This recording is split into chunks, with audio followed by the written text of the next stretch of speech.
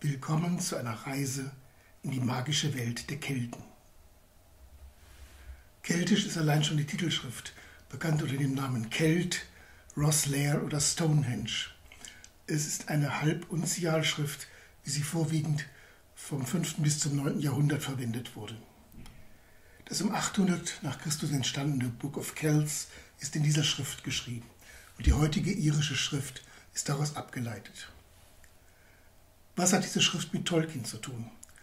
Nun, abgesehen davon, dass diese Schrifttype auch unter dem Namen Tolkien vertrieben wird, scheint es in den Augen vieler eine innere Verbindung zu geben.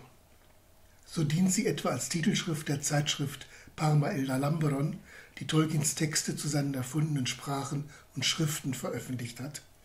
Und auch im Film kommt sie an einer Stelle vor, nämlich auf einem Spruchband Happy Birthday Bilbo Baggins, sinnigerweise in englischer Sprache, damit die Hobbits im Kino es auch verstehen können. Aber was hat es nun auf sich mit Tolkien und den Kelten? Um so viel vorwegzunehmen, es handelt sich um eine komplexe und nicht ganz widerspruchsfreie Beziehung.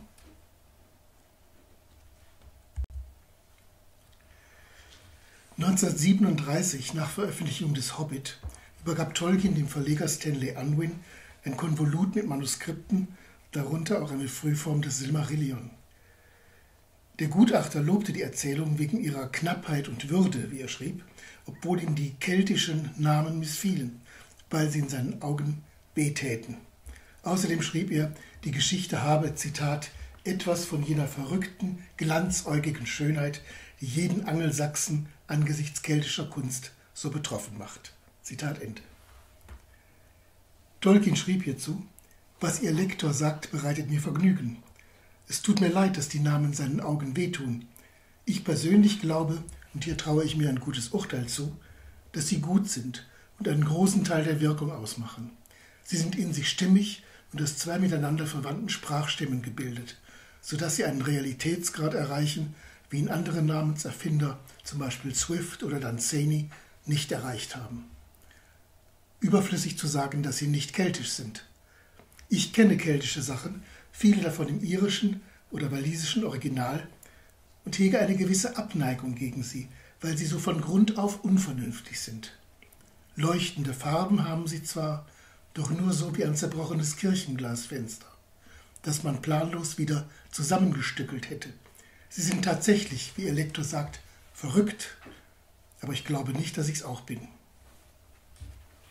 Tom Shippey meint dazu, doch die Ironie, die darin liegt, wird meist nicht gesehen.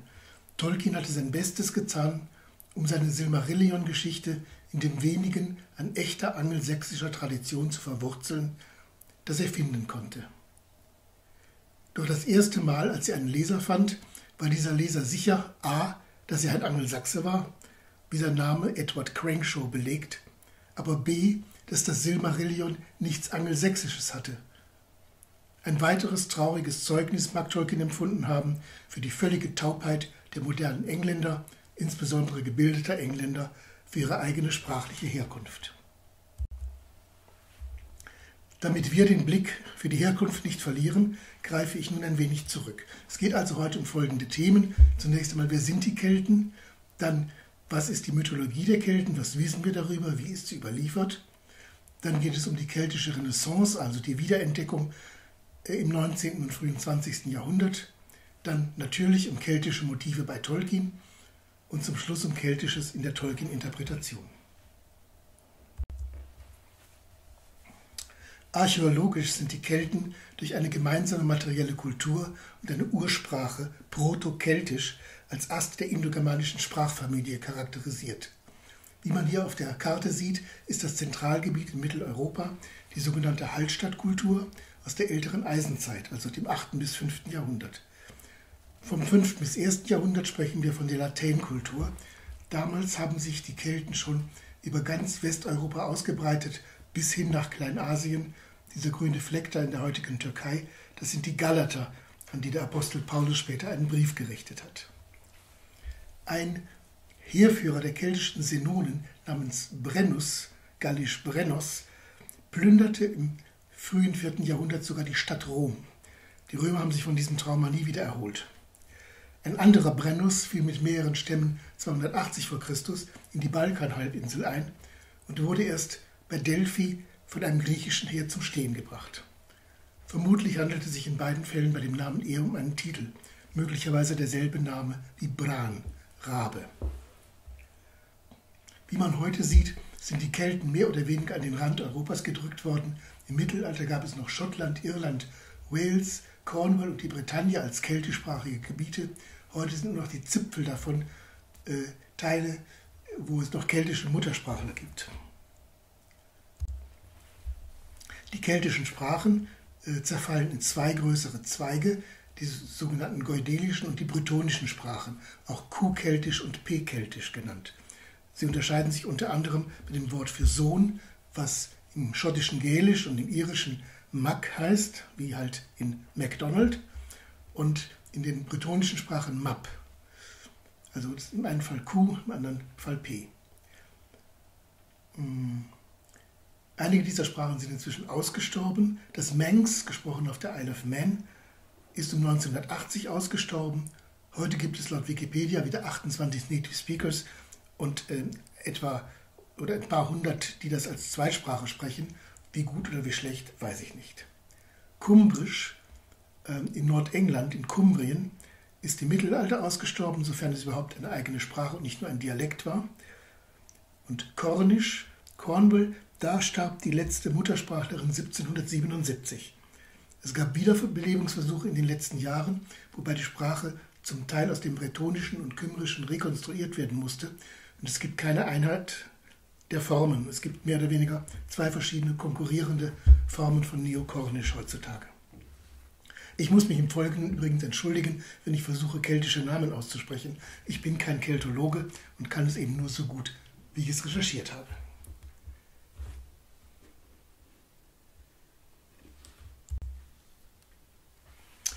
Die Mythologie der Kelten ist uns hauptsächlich aus Irland und aus Wales überliefert. Dort unterscheiden wir verschiedene Phasen oder Zyklen. In Irland sind das vier Zyklen, die vom mythologischen bis zum historischen reichen. Hinzu kommen noch die Imrama, das sind Geschichten über Seefahrten, wo ähm, die Legende von Brendern, dem Seefahrer, die bekannteste ist.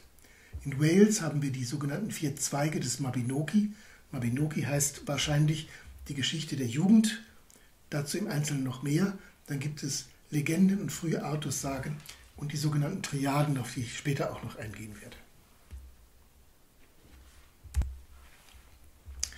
Fangen wir an mit der irischen Mythologie.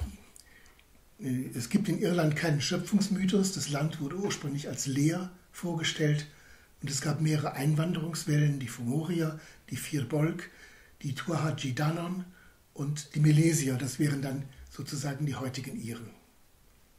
Der Alsterzyklus, der hauptsächlich im Norden spielt, das sind Heldensagen um den nordirischen Helden Cuchulainn, ähm, der so eine Art Sonnenheld ist, sagen wir mal so aller Siegfried.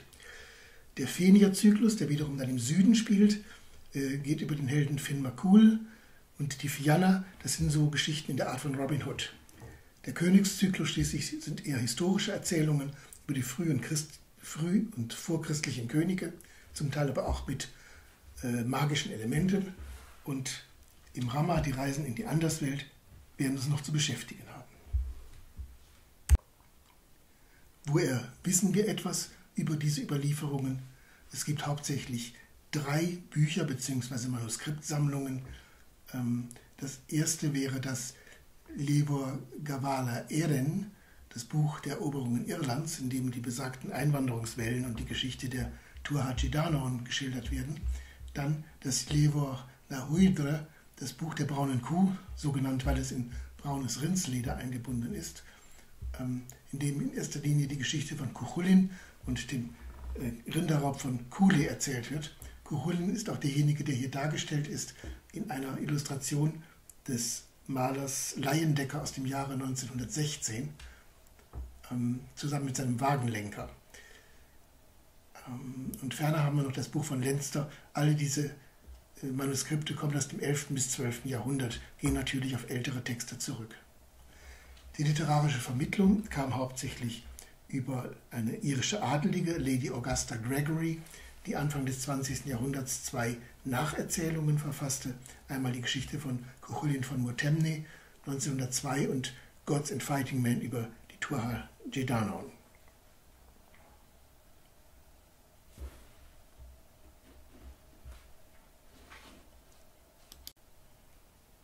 Von den etwa 300 Büchern aus Tolkiens Privatbesitz, die sich heute in der Bodleian Library in Oxford befinden, sind etwa ein Drittel dem Keltischen gewidmet. Das sind in erster Linie Bücher über keltische Sprachen, Walisisch, Alt- und Mittelirisch, Gälisch und Bretonisch, sowie Bücher über irische und walisische mittelalterliche Literatur, zusammen mit Übersetzungen, Editionen und sogar Faksimiles von Texten. Die meisten wurden gekauft zwischen 1920 und 1926. Tolkien kaufte damals vorwiegend antiquarische Bücher. Für 1923, 1924 und 1925 schrieb Tolkien auch den Literaturbericht Philology General Works für das Jahrbuch The Year's Work in English Studies, unter anderem mit Diskussionen über englische Ortsnamen und deren keltische Wurzeln. Wenn er also sagt, dass er das Irische studiert habe, wenn auch mit wenig Erfolg, so muss man das, glaube ich, in Relation äh, zu seinen anderen Sprachkenntnissen setzen. Walisisch konnte er sehr gut, insbesondere das historische Walisisch. Das war für ihn in erster Linie die keltische Sprache. Die walisische Mythologie ist vor allem aus einem größeren Sammelwerk überliefert, dem sogenannten Mabinogion. Das ist eine spätere Bezeichnung, was sie genau bedeutet, weiß man nicht, möglicherweise die Geschichte einer Jugend oder die Geschichte eines jungen Mannes. Sie zerfällt in zwei größere Teile. Der erste Teil, die sogenannten vier Zweige des Mabinogi, sind vier Sagen um die walisischen Halbgötter aus den Häusern Don und Lyr, lose verbunden durch die Figur des menschlichen Helden Prederi. Die erste Geschichte, Pul, Fürst von David, äh, erzählt die Geschichte äh, eines äh, menschlichen Königs, der mit dem König von Anun, Araun, ein Jahr lang die Herrschaft tauscht. Das heißt, er herrscht zu dieser Zeit in der Unterwelt und Araun herrscht dann in Wales. Brunwen, Tochter des Lear, ist die Geschichte einer Rache und außerdem gibt es noch Manawethan, Sohn des Lear, und Marth, Sohn des Mathonwy. Ähm, viele von diesen Figuren finden Parallelen in der irischen Mythologie. So ist zum Beispiel Manawethan Fab Lear kein anderer als der irische Manaunon Maclear, ähm, einer der Tuatha Gedanon, der nach deren Überlieferung auf der Isle of Man wohnt. Ergänzt werden diese vier großen Geschichten durch eine Reihe von kürzeren Sagenerzählungen, die zum Teil schon von der französischen Romanze beeinflusst wurden. Der Traum des Maxen Ledig. Maxen Ledig ist kein anderer als Magnus Maximus, ein römischer General, der von Britannien aus auszog, um Kaiser zu werden, aber es nie bis nach Rom schaffte. Lit and Llywelys, Killuch und Olben und der Traum Rhonabuis. Insbesondere Killuch und Olben, die Geschichte einer Brautwerbung, werden uns noch zu beschäftigen haben, äh, da sie Parallelen zu der Geschichte von Vernon und Lucien aufweist. Ergänzt wird dies durch drei Erzählungen aus dem Kreis von König Artus, die Herrin des Brunnens, Peredur, Sohn des Evrauk und Geraint, Sohn des Erbin. Was es mit den Triaden auf sich hat, äh, darauf werde ich später noch zu sprechen kommen. Auch hier die Frage, woher wissen wir von der walisischen Mythologie? Hier gibt es in erster Linie zwei Bücher aus dem 14. und 15. Jahrhundert. Das Lifr Gwyn das Weiße Buch Rydders und das Lifr Koch Hergest, das Rote Buch von Hergest. Aus dem Roten Buch von Hergest ist auch das Textbeispiel, das hier abgebildet ist. Auch hier kam die literarische Vermittlung über eine Adelige, nämlich Lady Charlotte Guest, die bereits 1838 eine englische Übersetzung, in diesem Fall des Mabinogion, herausbrachte. Auch diese ist immer noch ganz gut lesbar.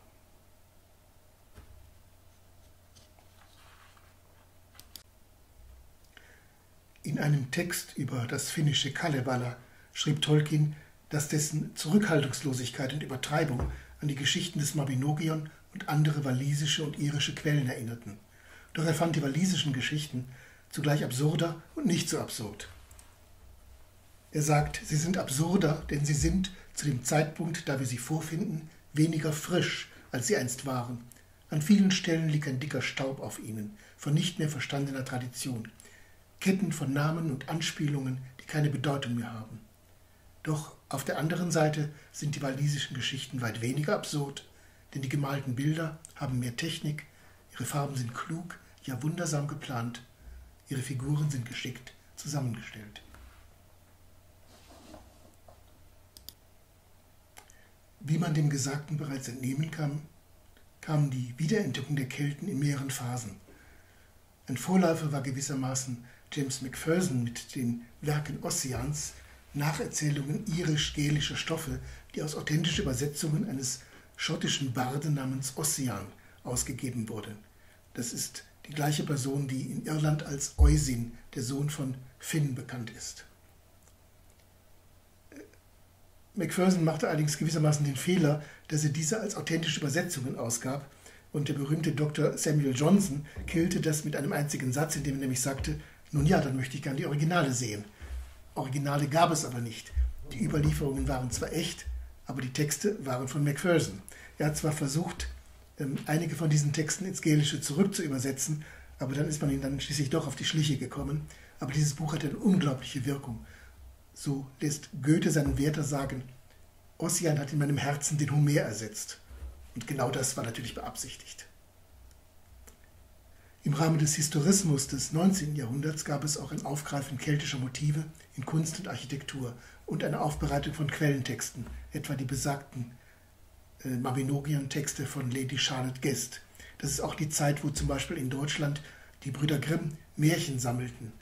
Ähm, eine Beschäftigung wieder mit der Vergangenheit und mit vor allen Dingen der Folklore, ähm, die ein Teil der romantischen Bewegung war. Dann gab es noch eine politische Bewegung, und zwar etwa ab 1900 in Irland, ähm, und zwar im Rahmen der Unabhängigkeitsbeschreibungen, wo man sich dort auf die irische Tradition besann. Und dort sind Autoren wie eben Lady Augusta Gregory, aber auch William Butler Yeats und Lord Dunsany zu nennen, die sich alle auf die eine oder andere Weise keltischer Motive bedienten.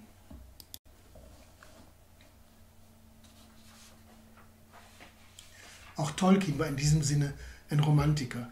Er schrieb zum Konzept seines Werkes 1951, und zwar sollte es, wenn mir dies gelänge, die helle, ungreifbare Schönheit besitzen, die manchmal keltisch genannt wird, obwohl sie sich in echten altkeltischen Dingen nur selten findet.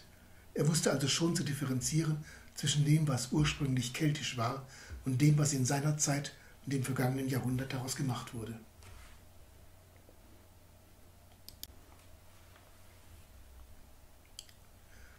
Auch hier wieder ein Bild zur Illustration. Es ist von John Duncan und heißt The Riders of the Sheer von 1911. Nach keltischer Überlieferung geht mit den Feiertagen Beltane, dem 1. Mai, und Mitsommer eine Zeit des Zaubers einher, in der der Schleier zwischen den Welten drei Tage lang dünn wird und Sterbliche und Unsterbliche zwischen dieser Welt und der Anderswelt hin und her wandeln können. John Duncan war ein symbolistischer Maler, geboren in Dundee, Schottland, von manchen als Mystiker, von anderen als Verrückter angesehen, behauptete er, er könnte beim Malen Fiery Music hören. Das Bild zeigt Reiter der Ski, also der Turha Jedanaun, in der Mitsommernacht. Sie tragen zwei der vier Schätze äh, von Irland, den Kessel des Dakta, hier als Kelch dargestellt, und das Schwert Nuadas. Sie sind aber sonst nicht eindeutig zuzuordnen. Man könnte hierin Parallelen zu den Wala bei Tolkien sehen, aber diese sind wohl eher den antiken und nordischen Göttern nachempfunden. Zum Beispiel Manwe, dem Zeus und Tulkas, Thor bzw. Äh, Ares, dem römischen Mars. Einer der prominentesten Götter der irischen Mythologie ist Lu Lawada. Ähm, die Römer identifizierten ihn mit Merkur. Als Mitglied der Turhajidanon wird Lu als Krieger, König, Handwerksmeister und Retter dargestellt. Er wird mit Geschicklichkeit und Meisterschaft in mehreren Disziplinen, einschließlich der Künste, in Verbindung gebracht. Seine häufigsten Beinamen sind Labada, das ist der mit der langen Hand, möglicherweise für seine Geschicklichkeit mit einem Speer oder seine Fähigkeit als Herrscher, und Samil Danach, das heißt jemand, der gleichermaßen in vielen Künsten geschickt ist. Im Walisischen entspricht diesem Schleilau Göffes, der Löwe mit der geschickten Hand, ein Magier und Krieger. Hier könnte man ein mögliches Vorbild für Feanor nennen, der auch in vielen Künsten geschickt war.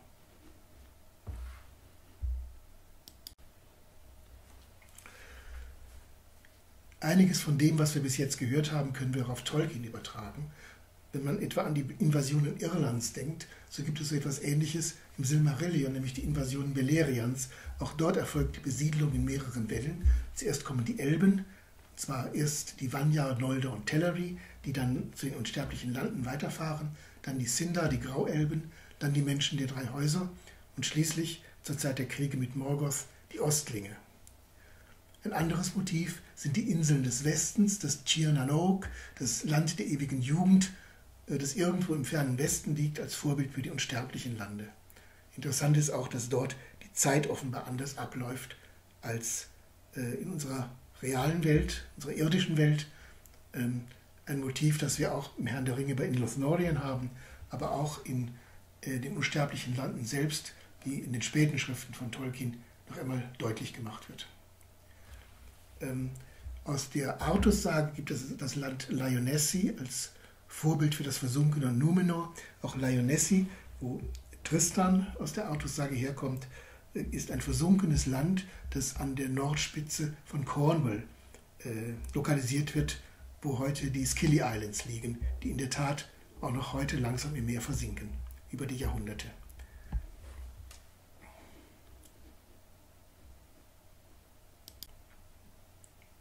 Tolkien schrieb sein ganzes Leben über auch Gedichte mit einem wiederkehrenden Motiv, nämlich die Fahrt nach Westen. Diese Gedichte reichen über einen Zeitraum von fast sechs Jahrzehnten. Äh, in dem Gedicht The Nameless Land von 1924 ähm, wird dieses Land beschrieben mit dem Vers Such loveliness to look upon, no Bran or Brandon ever won. Das heißt, hier sind deutlich die äh, Seefahrer äh, aus dem mythischen Irland die Vorbilder. Es gab eine auf keltischer Tradition beruhende Vorstellung einer heidnischen vorchristlichen Anderswelt, welche die Angelsachsen ebenfalls kannten und auf die Werke wie Beowulf anspielten. Und es gibt eine Ähnlichkeit zwischen den germanischen Legenden von Seereisen und der irischen Imram-Tradition. Man sieht etwa die Legende von Schilschefing äh, im Beowulf oder die nordischen Schiffsbestattungen der Könige. Die heute gängige Theorie dass die keltische Insel der Seligen äh, auf christliche Jenseitsvorstellungen zurückgeht, war zu Tolkiens Zeit nicht allgemein akzeptiert.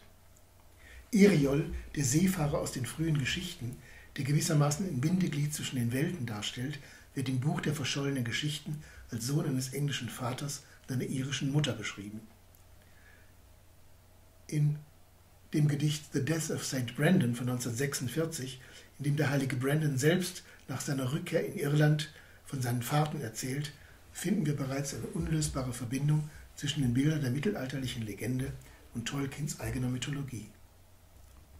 On high we heard in the starlit sky a song but not of a bird, neither noise of men nor angel's voice, but maybe there is a third fair kindred in the world yet lingers beyond the foundered land but steep are the seas and the waters deep beyond the white tree strand.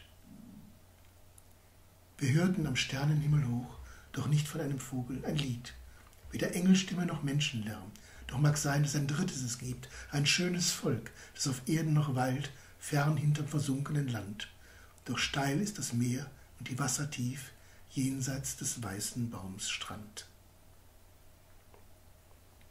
Auch das Motiv der Fahrt als Metapher des Todes, das wir in Bilbos Last Song finden, ist hier bereits angedeutet, wenn Brendan selbst davon erzählt, dass das letzte Land auf ihrer Reise jenseits der Welt liegt und dass die Luft dort so süß und scharf wie der Tod sei. Und das Gedicht endet auch mit Brendans eigenem Tod and his bones in Ireland lie und seine Gebeine liegen in Irland. Ein weiteres keltisches Motiv, das auf einen Text zurückgeht, den Tolkien sehr gut gekannt hat, ist der Zug der Elben, dem Frodo, Sam und Pippin im Auenland begegnen. Er geht wahrscheinlich zurück auf die Verserzählung Sir Orfeo, die im frühen 14. Jahrhundert von einem unbekannten Autor verfasst wurde. Das Lei, wie man solche Balladen nannte, entstand auf der Basis einer verlorenen Fassung eines bretonischen Autors. Tolkien selbst hat es aus dem Mittelenglischen ins Neuenglische übersetzt. Das Land der Toten aus dem Orpheus-Mythos ist hier zum Elfenland geworden, aus dem der Elfenkönig kommt, um die Dame Herodis, äh, griechisch Eurydike, zu rauben. Zum anderen hat Sir Orfeo, anders als der Orpheus in der klassischen Vorlage, bei seinem Unterfangen Erfolg und holt seine Frau heim, indem er den Elfenkönig durch die vereinten Kräfte von Musik und Ehre besiegt. Die berühmteste Passage des Gedichts ist das Bild der Elfen in der Wildnis, die Orfeo, als er halb wahnsinnig auf der Suche nach seiner Frau umherirrt, wieder und wieder vorüberziehen sieht. Und im Original Mittelenglisch hört sich das so an. He mich sehen wie Sides, oft in hot undertides, the king of fiery with his root, kommt der Hund im Allabut, with dim cry and blowing, and Hundes also with him berking, ac nor best thy nor nume, nor never ist wieder thy bekumme. Um Tolkiens Übersetzung zu zitieren, There often by him would he see, when noon was hot, on leaf and tree, the king of fiery with his rout came hunting in the woods about.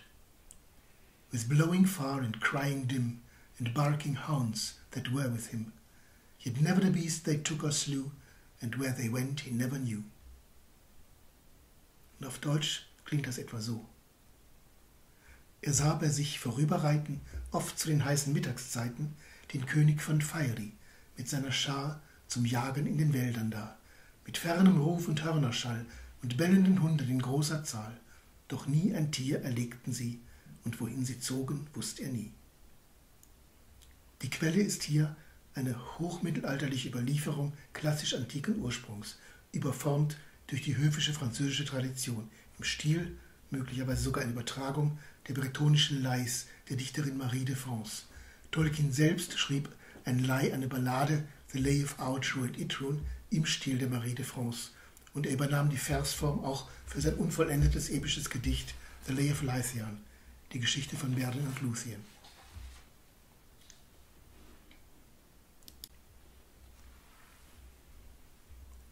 Keltisch geprägt ist auch die wesentliche Sprache der Elben und der Menschen des Westens im Herrn der Ringe. Tolkien hat das Sindarin bewusst dem Walisischen angenähert, um so einen ähnlichen Effekt zu erzeugen, wie es, wie es das Walisische gegenüber dem Englischen hat. Fremd, klangvoll und irgendwie zugleich vertraut. Er schreibt, die lebende Sprache der westlichen Elben, Sindarin oder Grauelbisch, ist die zumeist vorkommende, besonders in Namen. Sie hat einen mit dem Quenya gemeinsamen Ursprung, aber die Veränderungen sind bewusst darauf angelegt, ihr einen Sprachcharakter ähnlich dem britisch-walisischen, doch nicht damit identisch zu geben, weil dies ein Charakter ist, den ich in manchen Aussageweisen sehr attraktiv finde und weil er dem ziemlich keltischen Typ der Sagen und Geschichten, die von seinen Sprechern erzählt werden, gemäß zu sein scheint. Tolkien war sich also durchaus bewusst, dass die Geschichte, auch die Geschichte vom Herrn der Ringe, äh, von einem ziemlich keltischen Typ ist.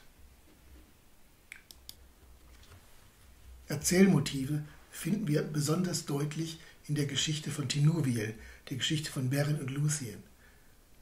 Ähm, die Begegnung zwischen Beren und Luthien, ähm, zwischen also dem Menschen und der Elbenmaid, äh, erinnert an äh, die, die Ballade von Thomas dem Reimer, ähm, unter anderem bekannt dadurch, dass Theodor Fontane sie ins Deutsche übertragen hat. Also eine alte englische Ballade, wo eben der Sänger Thomas äh, in den Dienst der Elbenkönigin tritt äh, und ihr sieben Jahre dienen muss. Und als er zurückkommt, ist sehr viel mehr Zeit vergangen als im Elbenreich. Die Flucht Luciens und Berens hat Vorbilder in, äh, der irischen, äh, in den irischen Geschichten. Dort gibt es äh, die Motive der Brautwerbung, Entführung oder Verfolgung. Tochmark, Ahet oder Torjacht. Und Killuch und Olbet, eine der kleineren Erzählungen des Mabinogion, enthält eine ebenso unmögliche Brautwerbung wie bei Beren. Das heißt, auch da ist es so, dass Killuch Olben, die Tochter eines Riesen, heiraten möchte und sein Vater, der Vater der Braut, ähm, gibt ihm eine unmögliche Aufgabe, die er dann trotzdem erfüllt. So ähnlich wie äh, König Thingol ähm, es von Beren verlangt, er soll ihm einen Silmaril aus der Krone Morgoths herausbrechen und bringen. Und die Jagd nach dem Wolf Karcharoth äh, erinnert an die Jagd nach dem Eber äh, durch Truis, oder auch an die Jagd nach dem koledonischen Eber, die Homer und Hesiod bekannt war und deren Geschichte der römische Dichter Ovid in seinen Metamorphosen erzählt. In derselben Geschichte gibt es auch geografische Elemente, die an die Sagen des alten Irland erinnern, so wie sich die Turhaji Danaun nach ihrem Krieg gegen die Fomorier schließlich in die Ski, die hohlen Hügel zurückzogen, sind auch die Hallen von Menegoth ein unterirdisches Reich. Und das ganze verborgene Reich Dorias ist ebenso wie die Anderswelt nur über eine Schwelle durch den Gürtel Melians zu erreichen. Es ist sozusagen eine Welt in der Welt, ähnlich wie später Lothlorien. Luthien ist vom Typ her die weiße Frau. Ähm, Olben in der Geschichte von Kilo und Olben, dessen, deren Name bedeutet eben nichts anderes als weiße Frau.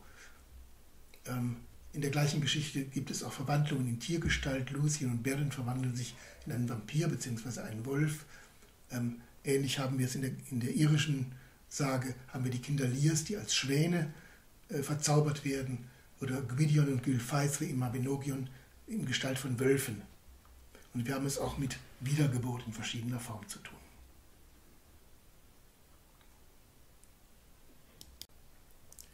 Ein keltisches Motiv das sogar das Wappen von Irland ziert, ist die Harfe. Und im Leisian-Lied haben wir eine Triade von elbischen Harfnern. Walisische Triaden sind Merksprüche, die auf historische und mythische Traditionen zurückgehen. Sie sind überliefert in mehr als einem Dutzend Manuskripte aus der Zeit des 13. bis 17. Jahrhunderts. Die Triaden stammen von walisischen Barden, die sie als Gedankenstütze für ihre Abfassung von Gedichten und Geschichten einsetzten. Jede Triade nennt unter einem Oberbegriff zum Beispiel die drei berühmtesten oder die drei schrecklichsten oder die drei unmöglichsten Dinge, äh, drei Namen, die etwas gemeinsam haben. Die einzige Triade in Elbengeschichten findet sich, wie gesagt, bezeichnenderweise in der Geschichte von Beren und Luthien. Dort heißt es: Such players have there only been thrice in all Elfiness, I ween. Tinfangelion, who still the moon enchants on summer nights in June and kindles the pale firstling star. And he who harps upon the far forgotten beaches and dark shores where western foam forever roars, Maglor, whose voice is like the sea, and Dairon, mightiest of the three. Solch Spieler gab es nur an Zahl in Elfland, wie mich dünkt, dreimal. Dinfangelion, der den Mond verzaubert, der am Himmel thront und den ersten blassen Stern entzündet, und jener, dessen Harfe kündet von fernem Ufer und dunklem Land, wo ewig tost die Gischt am Strand, Maglor, dessen Stimme wie das Meer, und Dairon, aller dreien Herr. Die Harfe spielt auch eine wichtige Rolle bei der Begegnung von Menschen und Elben. Als die Menschen aus dem Osten nach Beleriand kommen, ist es Finrod Felagund, der als erster auf sie stößt. Dort heißt es, Lange sah Felagund ihnen zu und Neigung regte sich in seinem Herzen. Doch blieb er zwischen den Bäumen verborgen, bis sie alle in Schlaf gesunken waren. Dann trat er zwischen die Schlafenden und setzte sich an ihr verloschendes Feuer, an dem niemand Wache hielt. Und er nahm eine klobige Harfe zur Hand, die Beor beiseite gelegt hatte, und spielte darauf eine Musik, wie sie die Ohren der Menschen noch nicht vernommen hatten. Denn niemand hatte sie noch in dieser Kunst unterwiesen, außer den Dunkelelben in den wilden Wäldern.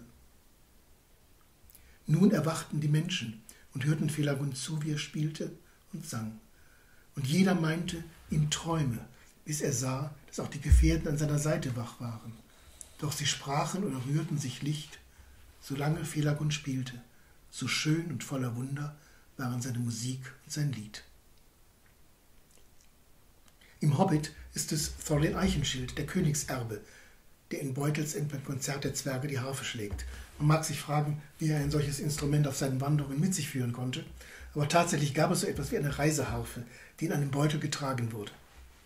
Die amerikanische Autorin Diana L. Paxson, die mich vor vielen Jahren einmal besuchte, führte ein solches Instrument mit sich. Und ich kann mich noch gut erinnern, wie mein Kollege Stefan Bauer und ich das Ding den Drachenfels hinaufgeschleppt haben, wo Diana dann das Nibelungenlied auf Mittelhochdeutsch auf der Harfe anstimmte und sang. Auch Sir Orfeo war übrigens ein Harfner. Zum Schluss erprobt er die Treue seines Hofes, indem er verkleidet auftritt und behauptet, die Harfe, die sofort als die königliche erkannt worden ist, gefunden zu haben.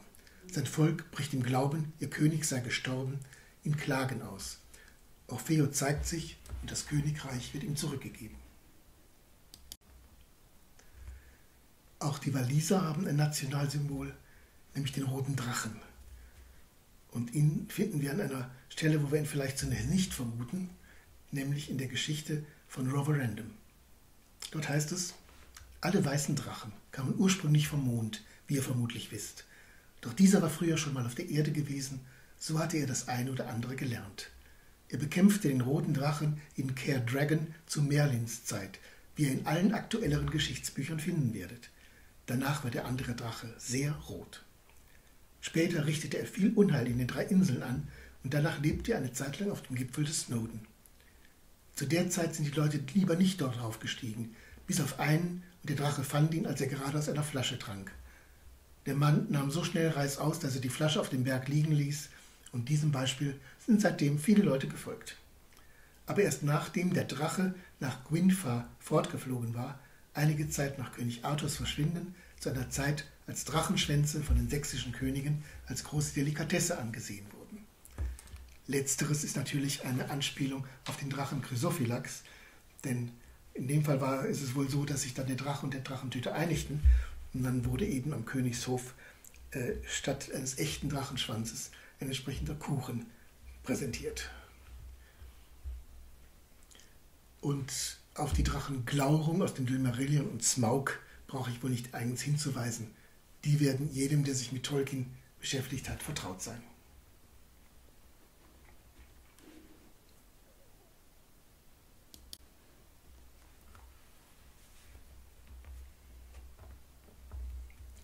In seinem Vortrag English and Welsh, gehalten einen Tag bevor The Return of the King veröffentlicht wurde, bezieht sich Tolkien auf den Herrn der Ringe, wenn er sagt, die lang verzögerte Veröffentlichung eines großen Werks, wenn man es so nennen kann, in der Darstellung, die ich am natürlichsten finde, wovon ich persönlich viel aus dem Studium keltischer Dinge empfangen habe.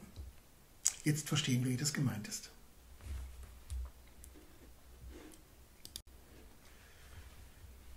Wie sehr Tolkien den keltischen Vorbildern verpflichtet ist, wurde auch in der Rezeption immer wieder betont. So schreibt Marjorie Burns in Miss Law 1989, Lothlorien mit seiner mystischen Zeitlosigkeit ist stark keltisch im Ton, desgleichen die Totensümpfe und die Pfade der Toten auf weniger angenehme Art. Und Marie Barnfield in Malorn 1991, wenn Tolkien den Namen der Elben aus dem tatonischen Mythos nahm, dann zog er ihre Seele aus der irischen Legende. Aus der irischen Legende kommt auch die Geschichte ihrer langen Niederlage, das Motiv ihres Verblassens.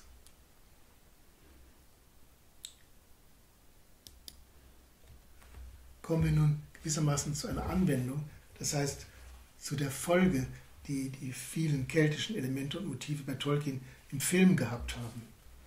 Äh, Flechtwerk äh, wie bei den Iren finden wir insbesondere in der Architektur von Rivendell von Bruchtal. Dieses Maßwerk ist mancher Hinsicht gotisch in der Anmutung, mit Elementen des Jugendstils, der sich wiederum auch stark an vegetabilen als an pflanzlichen Strukturen orientierte. In der Vorstellung der Romantik im 18. bis 19. Jahrhundert wird die gotische Kathedrale als Wald gedeutet, durchflutet von Licht, mit den Säulen und Diensten als steingewordenen Bäumen. Der Spitzbogen gilt als natürliche gewachsene Form, im Gegensatz zu den konstruierten Formen der Romanik und der klassischen Antike, die etwas von einem modularen Baukasten haben. Flechtwerk finden wir auch bei den Reitern von Rohan in der Architektur.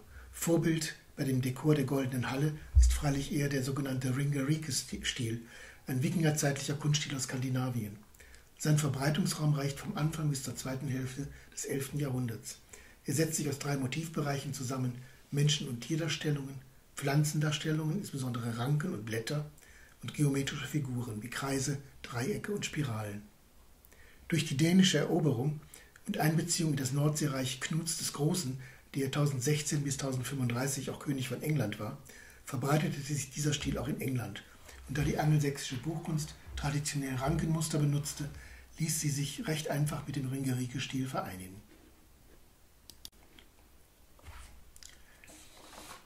In der Kleidung und im Dekor der Innenräume sehen wir freilich wieder eher keltische Flechtmuster, wohl auch, weil sie für die raumgreifende Ornamentik des Rankenwerks nicht so viel Platz boten. Hier sehen wir zum Beispiel in der Tür ähm, hinter äh, Eowyn äh, ein typisches keltisches Flechtband und auch in ihrem Gürtel und in der Ornamentik von Theoden äh, am Saum äh, seiner Tunika gleichfalls laufende keltische, irische Elemente.